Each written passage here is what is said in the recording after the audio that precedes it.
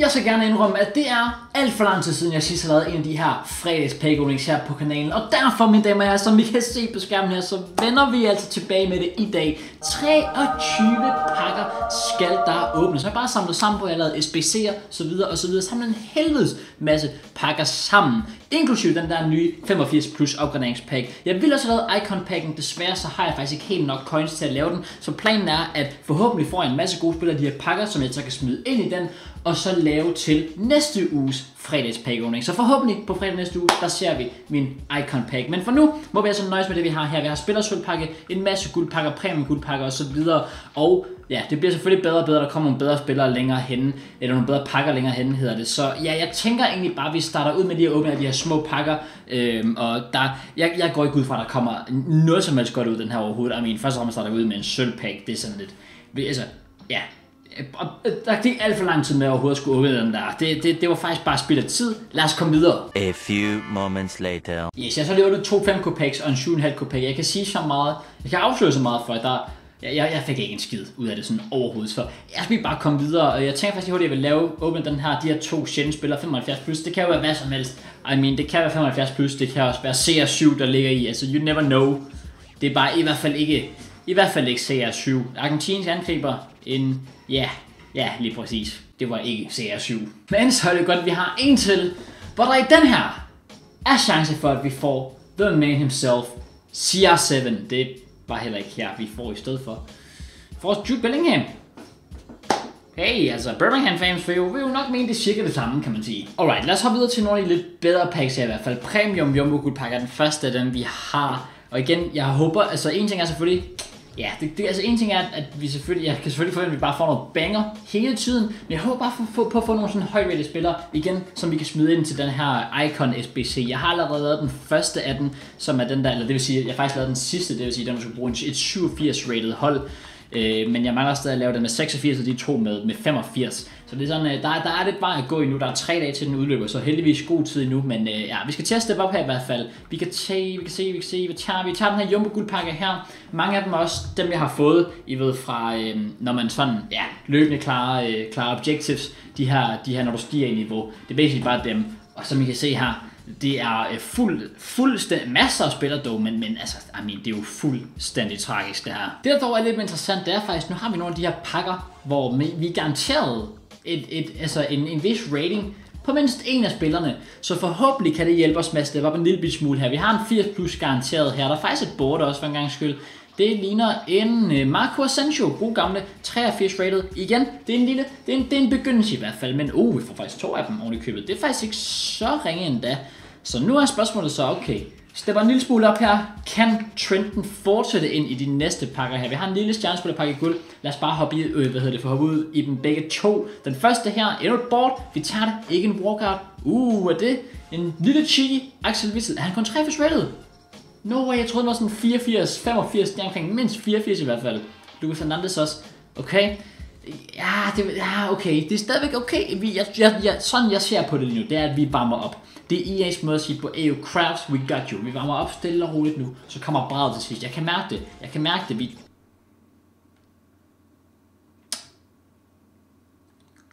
Okay, glem det. Okay, vi har 8 pakker tilbage. Jeg kan se, i den her har vi garanteret en 80 plus, den her har vi garanteret en 82 plus, 82 plus, 83 plus, 82 plus, 83 plus. Den absolut eneste, vi har tilbage, er så selvfølgelig den her 85 plus, kan man sige, er også garanteret her. Vi har en tilbage, hvor vi ikke er garanteret en, en vis rating på spilleren, så lad os lige få åbnet den. Øh, lad os få den overstået. Og vi får faktisk et board, vi tager det. Brasilien, venstre bak. Er det en Alexandro? Han har kun 83 rating. Fuck, jeg troede, var, jeg troede, var 84, mand. God damn. God damn! Det var da... Mm, okay. Okay, det var da utroligt. Nu skal vi altså til at. Okay, lad os starte med den her 80 plus stjernespiller Elektrum. Kom nu! Det er nu, jeg vil se de tunge skytsbræk frem. Ja tak, vi tager en walkout. Hvor er det vigtigt, mand. Uh, en cheeky Luis Suarez. Det er det da i hvert fald. Vi tager det. Kom nu, mand. Det var det, jeg snakker om. Det er det, vi vil se. Let's fucking go. 8 officielle Luis Suarez. Og, og igen, som jeg siger, det der er så fedt ved det, er, at jeg kan smide ham ind i Icon SBC'en, så vi kan lave dem næste uge. Det er fantastisk. Det er legit alt det, det handler om her. Selvfølgelig bare for nogle gode spillere. Men den her, det er konge og pakke, og vi får lige en Sabiton i os. Det er lækkert. Det er det, vi vil se. Sådan, EA, mwah, i nogle skatterbasser. Øh, ja, nej, ved du hvad, det, det hører jeg mig aldrig nogensinde sige igen, det der, det er helt sikkert i hvert fald. Men Luis Suarez, vi tager det, en walkout, den første walkout, er forhåbentlig mange flere i den her pack opening her. Og nu har vi altså de her, hvor vi garanteret plus spiller. Lad os tage den her lille sjældne guldspillerpakke. Garanteret en 82 plus, så næsten et board er vi garanteret at få i den her. Det får vi også. Okay, engelsk målmand. Er det Pickford? Det er Pickford. Jeg tænkte det lidt instantly, så snart jeg så engelsk. Selvfølgelig er det Pickford. Det er indbegrebet af en engelsk spiller. Ikke at der er noget helt specielt over det. Men okay, vi tager det og hopper videre til den næste pakke. Vi ser, vi har to mega pakker, så har vi den her premium guldspiller, og så har vi en 50k pakke må det være det her. Den lavede jeg, hvor man, altså man skulle de der to winter wildcard pulletter ind for at få den. Øh, jeg havde tilfældigvis bare to winter wildcard pulletter liggende. Jeg ved ikke, hvordan jeg har fået dem. Jeg tror, jeg har fået den ene fra en SBC eller sådan noget, der eller Nerdy sidst. Så jeg lavede den bare og tænkte, ja, så har vi en lille 50k pack til, øh, til pack opening også. Why not? Anyways, vi har den første 35k pack her. Det er en Duban Zapata, der ligner det. Ikke lige frem det bedste. Ikke lige frem det bedste. Og resten af pakken var der sgu heller ikke lige så meget rum. Oh, der ligger okay, der ligger så de to jæger. Det er så ikke rigtig selv, kan man sige, for det er en tradable pack, men altså, okay, fair nok, der ligger, ja, der ligger også lige en, en, nogle spillere, vi lige kan skifte ud her en gang, og så ligger der, uh, der ligger Judas. Jeg vidste ikke, han var i FIFA også. Fair nok. Oh my god, og så i den næste mega pack, så får vi ikke engang, vi får lidt bare en trofé, vi får Daniel Olmo. Vi får faktisk en ja her, vi faktisk kan sælge. Nice, vi får en Lies. Yeah, fedt. vi får Daniel Olmo, Alert, ja. Det, det var godt nok skuffende. Jeg ved ikke, om jeg faktisk burde sælge Olmo i stedet for bare kviksælge ham. Det kan godt være, man kunne få noget mere ud af det. Anyway, så siger vi den her. Uh, en spiller. Oj, lol, okay, vi får lol. Okay, jeg vil se, om man kunne få special cards i den her. Det var faktisk ret decent. Jeg kunne, det er faktisk et godt kort, det her. Vi fik en walkout. Hey, sjovt. Nej, overhovedet ikke sjovt, I know. Anyways, vi har tre pakker tilbage nu. Vi har den her premium spiller 83 det så sige, vi garanteret bort ligegyldigt hvad, men det må gerne være lidt mere end det. Come on, EA! Vi tager det! Hvad fanden er det her? Hey, en headliner! En headliner! Vi tager en Kandreva headliner, let's fucking go! Kom nu, mand! Jeg ved ikke, om det er godt. Jeg ved ikke, om det er godt. Let's be real. Det er det nok ikke særlig godt. At kunne jeg før var vel egentlig sådan en headliner, så kan vi sige, at vi fik to headliners i den her. Nej, nej, det kan vi ikke rigtig. Oj, der ligger lige en cheeky Sterling.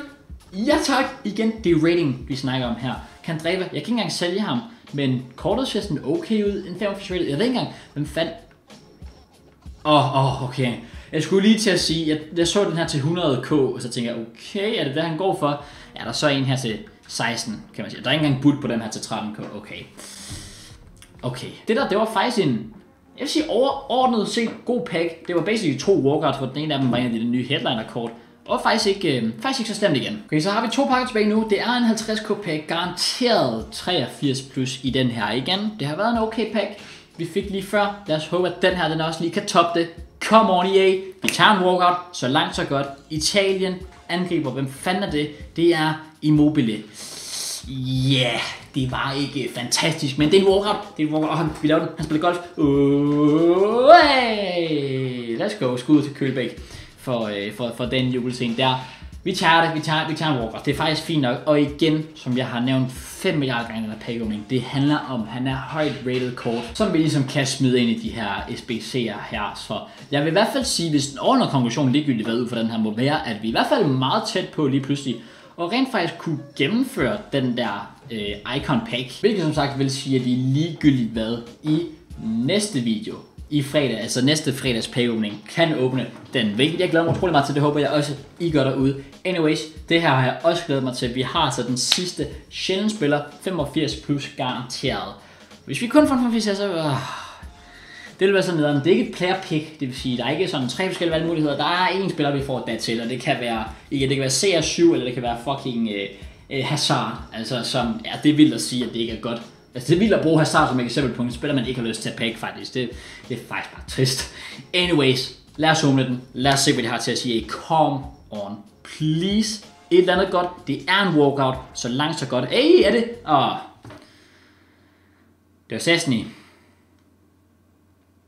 Jeg troede lige et sekund, det var Lewandowski. Fordi det havde været rigtig godt. Det havde været rigtig godt.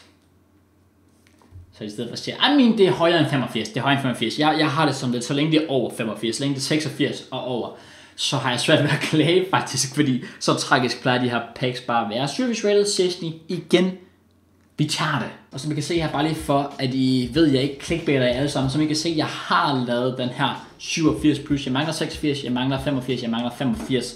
Og som I kan se, når jeg går ind her, så har jeg basic, det her, det var sådan de højeste rated kort, jeg havde i klubben i forvejen, og der ligger sådan okay spillere som Ole Gunnar Solskjaer, der ligger Zakaria. Jeg kan ikke bruge, jeg har ikke, lyst, jeg har ikke lyst til at smide dem ind, kan man sige. Så det med, at vi får alle de her nye spillere, nu vi kan fyre ind i stedet for, det er så meget bedre. Så ja, det kan I som sagt glæde til i næste uge. Men ja, udover det med dem her, så er der så ikke så meget at komme efter i den her pack opening her. Derfor er der så heller ikke andet at sige end selvfølgelig som altid tusind mange gange tak, fordi at I med alle sammen. Hvis I nu denne video her, så glem selvfølgelig ikke lige at gå ned og smid et like på den.